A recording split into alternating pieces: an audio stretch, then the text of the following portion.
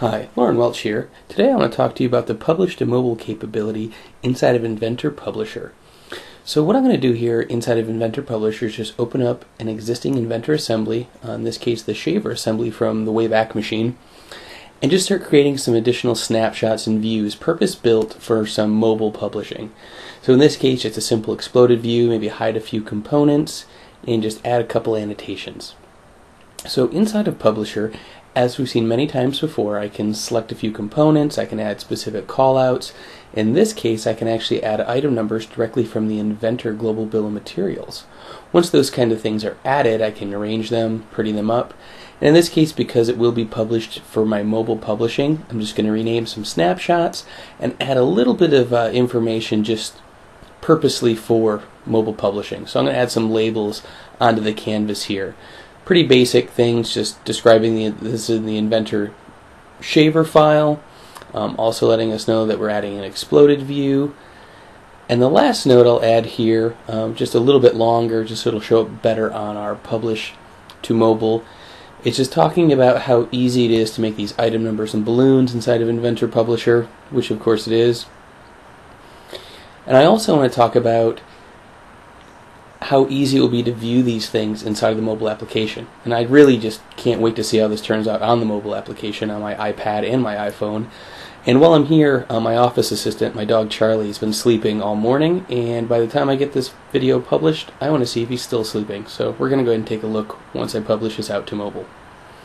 So with all of my notes and annotations on the canvas, I'm going to log in with my Autodesk ID inside a Publisher and this will allow me, when I publish to mobile, to actually publish to an Autodesk server or, you know, save online.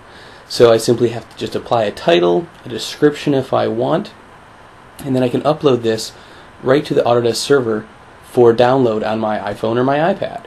So once we get this mobile example spelled properly, I'll go ahead and just again put in a little description about the shaver file and uh, I guess the true irony of this is I haven't yet shaved today, and so maybe it's a good file to remind me by publishing the shaver file. Once we get all the information laid out, I'll go ahead and save this file online.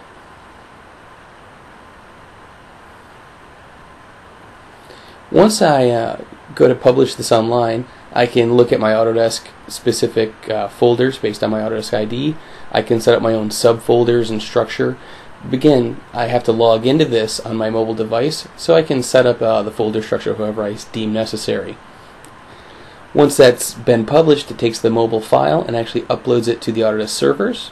And then I have the capability to take a look at these on my iPad and iPhone. So let's go ahead and do that now. So I grabbed my flip video camera and uh, focus wasn't too great, but we'll take a look. So here on my iPad, I can go ahead and fire up the Autodesk Inventor Publisher Viewer. Um, I can actually download files by logging in to that Autodesk server with my Autodesk ID, and I'll go ahead and download that file I just created of the shaver. Go ahead and move it to full screen, and you can see there's the annotation on the canvas. And I can actually just play through those three snapshots I made. So exploded it out and then put my nice balloons on there.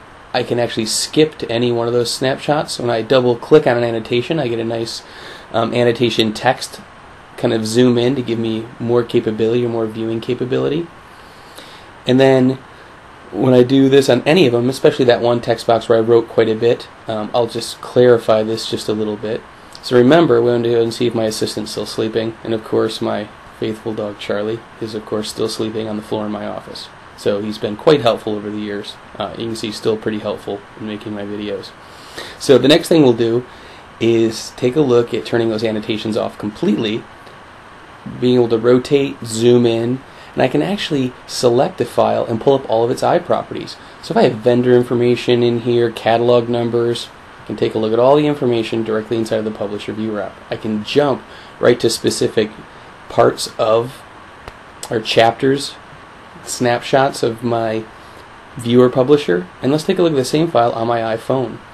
So I'll just go over same thing. I can log in with my Autodesk ID to that same server, download the file locally, and you'll see the exact same functionality just on a smaller scale on my iPhone. And again, didn't quite have the focus as I'm trying to hold the camera and perform this all at once, but I think you get the idea.